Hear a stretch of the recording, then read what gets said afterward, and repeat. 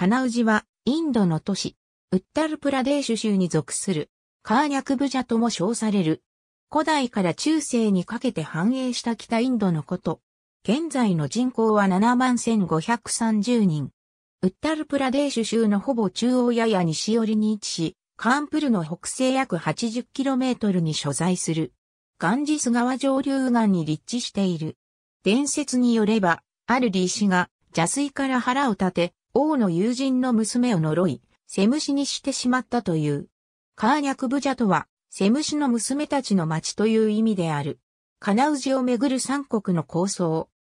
パーラーサ、プラティーハーラーサ、ラーシュトラクーターサ6世紀半ばのグプタ朝滅亡後の分裂後、マウカリ朝の都となっていたが、7世紀初頭、王が後継なく死去した後、義理の兄にあたるバルダナーサのハルシャバルダナが、マウカリ朝を併合し、この地を都として、シーを正当し、広大な半島を統治した。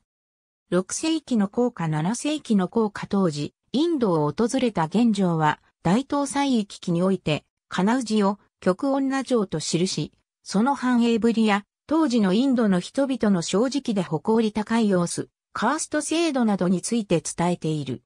また、9世紀半ばから10世紀後半にかけて、プラティーハーラ朝もカナウジオ島として、ガンジス川上、中流域からインド西部を統治した。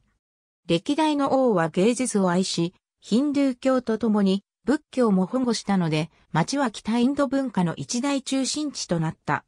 また、東のパーラーサ、南のラーシュトラクータ朝もカナウジを支配しようとしたため、三者は互いに争うこととなった。11世紀よりアフガニスタンを拠点としたイスラーム勢力が侵入してくると、カナウジは衰退へと向かった。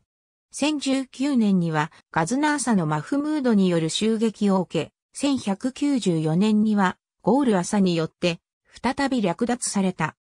13世紀よりデリースルターンアサの統治下に置かれた後は、かつての繁栄を取り戻すことはなかった。市内にはジャイナ教風の柱を持つモスクの一部が残る。また、ムスリムの城主マダンシャーの母廟建築がある。ありがとうございます。